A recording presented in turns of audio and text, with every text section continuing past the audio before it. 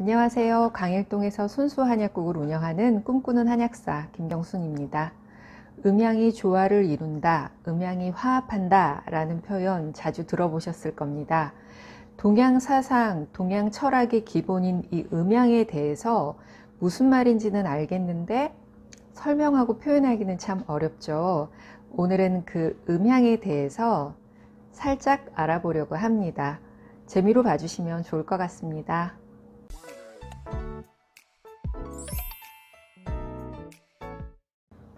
음양을 이해하기 위해서는 먼저 동양과 서양의 생각의 차이를 알아보는 게 더 좋습니다. 서양은 수렵사회였고 상업이 위주로 발달한 곳이었습니다. 그리고 자연을 정복하려는 사상이 기본적으로 깔려 있습니다. 성경에 보면 천지창조 이후에 인간이 인간에게 자연을 정복하고 번성하라고 쓰여져 있잖아요. 이게 대표적인 표현일 겁니다. 반면에 동양은 농경사회입니다. 그리고 자연과 조화를 더 중요하게 생각했습니다. 인간과 자연이 연결이 돼 있고 그리고 물질과 정신이 하나로 연결되어 있다는 이 사상은 불교의 무라일체로 대표적으로 표현할 수 있을 겁니다. 과학과 철학을 보는 관점에서도 서양은 진리와 원칙을 두고 기준을 통해서 평가하는 합리주의를 선호했고요. 동양에서는 상대적인 가치에 따라 결정이 되고 기준보다는 상대성을 더 중요하는 그런 사상을 가지고 있었습니다. 음양을 이해하시려면 생각하는 관점을 조금 바꾸셔야 합니다. 동양 철학의 기본인 음양은 자연과 사람이 연결되어 있다는 것이 기본 생각이고요. 또 어떤 기준에 따라 평가하는 것이 아니라 상대적으로 평가하는 것을 그 가치관으로 두고 있습니다. 어색하실 수 있겠지만 이건 맞다 틀리다의 문제는 아닙니다. 그래서 동양적인 사상이나 철학 혹은 한의학, 주역 등에 관심이 있으시다면 관점을 조금 바꿔서 생각하시는 게 훨씬 다가가기 편하실 겁니다. 처음에는 음과 양에 대한 구분을 태양의 방향으로 시작했습니다. 우리가 흔히 예를, 예를 드는 게 언덕의 그림인데요. 언덕에 태양이 비치고 있으면 그곳은 양, 그늘진 곳은 음이 됩니다. 또 사람이 들에서 일을 할 때 나의 등은 태양과 바로 보게 되잖아요. 그러면 나의 등은 양이 되고 그늘진 복부는 음이 되는 겁니다. 이렇게 태양에 대한 방향으로 음양을 나누다가 나중에는 동서남북 상하 좌우와 같은 방위, 승강 출입과 같은 운동 상태, 혹은 강하고 부드러움에 상반되는 성질들도 모두 음양으로 나누게 되었습니다. 오랜 기간에 걸쳐 자연 현상을 관찰하고 연구하는 동안 음과 양의 상반된 상호작용이 우주를 만들었고 만물을 생성하는 근본 원인이 되었다는 개념으로 발전하게 됩니다. 서양에서는 대표적으로 어, 신이 우주를 만들었고 뭐 이런 좀 레이아웃이 어떤 기준이 확 있잖아요. 어떤 이벤트 역사적 뭐 그런 게 있는데 동양에서는 어, 탁한 기운과 깨끗한 기운이 만, 어, 만나서 그것들이 음양으로 나눠지는데 걔네가 우주를 만들고 또 만물을 생성하는 원리가 되었다. 약간 다른 프레임으로 어, 우주의 시작도 이루어지는 거죠.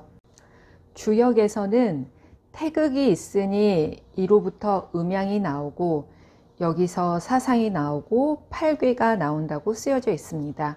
주역에서 얘기하는 태극이라는 건 끝이 없는 아주 큰 무언가를 의미하는데 이거는 리미트가 없는 무극을 의미하기도 하고 어, 쉽게 표현하면 어떤 우주의 의미를 갖고 있는 거죠. 주역대로라면 우주의 음양이 있고 그 음양에서 뭔가 물질이 나왔다. 그래서 물질은 음양으로 이루어져 있다. 이런 표현이 되겠습니다. 어, 동양 철학의 기본 이론이 음양설이고 역시나 한의학도 이 음양을 기본으로 이루어진 학문입니다. 그래서 옛 의사들은 어, 역 어, 주역과 한의학은 같은 이론을 갖고 있고 주역을 모르면 의학을 할 수 없다라고 말한 의사도 있었습니다. 또 한의학에서는 사람을 소우주라고 이야기하거든요. 실제 태극에서 음양이 나왔던 것처럼 소우주인 인간도 음양으로 이루어져 있고 그 음양의 균형에 따라서 질병이 생기고 또 질병이 나아진다 이런 이론을 가지고 있습니다. 음양의 특징을 한번 볼까요? 동양에서는 기준이 아닌 상대적인 걸 더 중요하게 본다고 말씀드렸잖아요. 하늘은 양, 땅은 음, 따뜻한 건 양, 차가운 건 음, 이렇게 우주 만물은 항상 짝을 이룬다고 봤습니다. 이게 바로 음양의 상대성입니다. 하나 속에 음과 양의 성질이 공존합니다. 낮이 없으면 밤이 없고 밤이 없으면 낮의 개념은 존재하지 않습니다. 오른쪽이 없으면 왼쪽이 없고 왼쪽이 없으면 오른쪽이 없습니다. 이렇게 음과 양은 생겨나는 순간부터 같이 공존하게 됩니다. 이걸 음양의 일원성이라고 합니다. 또 음과 양은 끊임없이 사라지고 성장하는 변화를 일으킵니다. 변화를 일으킨다는 건 움직인다는 거고 움직인다는 건 살아있다는 겁니다. 음양을 기초로 하는 한의학에서도 궁극적으로 추구하는 건 완전함이 아니고 음양의 균형입니다. 태극기의 태극 무늬는 회전하는 모습이죠. 이건 살아서 움직인다는 역동성을 표현하는 겁니다.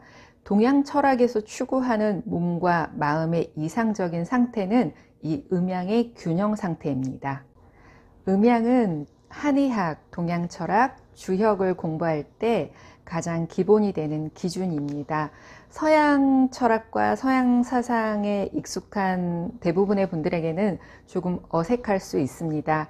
하지만 인간과 자연 우주를 바라보는 새로운 관점이 될 수 있으니까요. 좋은 도구로 쓸 수 있을 겁니다. 음양을 이해하기 위해 노력하시는 분들에게 조금이라도 도움이 되었으면 좋겠습니다. 오늘도 몸과 마음의 균형 잘 잡으시고 더 평안하시기 바랍니다. 꿈꾸는 한약사 김경순이었습니다. 감사합니다.